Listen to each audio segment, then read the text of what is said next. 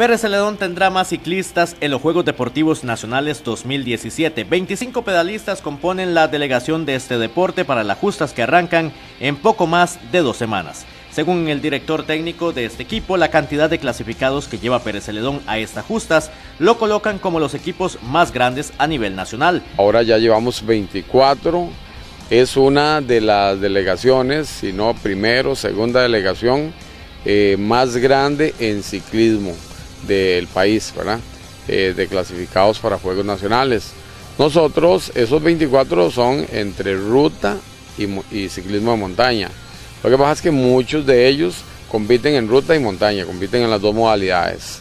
Entonces, este, de, pues contentos por eso, también eh, satisfechos por resultados. Y es que este representativo de ciclismo de Pérez Celedón tiene una seguidilla de victorias que lo meten como favoritos a medalla para este año. Nosotros tenemos dos años eh, seguidos, 2015 y 2016, de que hemos eh, ganado la medalla de oro en la ruta juvenil por equipo.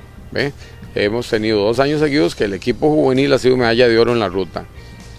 Y después este año el equipo está bien, este, pero muy parejos, hay equipos muy buenos. Aunque también es claro que los rivales son cada vez mejor y tendrán que luchar bastante para imponerse a otros cantones. Hay varios equipos eh, muy fuertes, Paraíso está muy fuerte.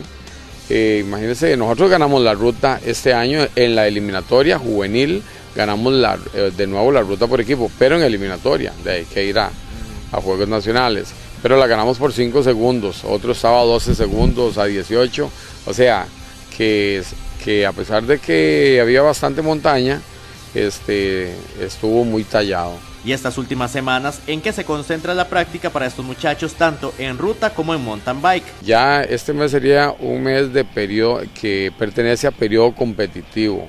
Periodo competitivo eh, se da un poco más la intensidad. Sí, fondos. Hoy andábamos, por cierto, en, Matapalo. Acabamos de terminar un fondo, pero con algunos, con los juveniles. Con algunos juveniles, no todos pueden salir a esta hora. Entonces a otros les damos otro trabajo y los prejuveniles un poquito menos. Pero este eh, hoy había un fondo, pero el martes, eh, ayer hubo algo de intensidad. Esperanzas de medalla en Pérez Celedón viajan en dos ruedas.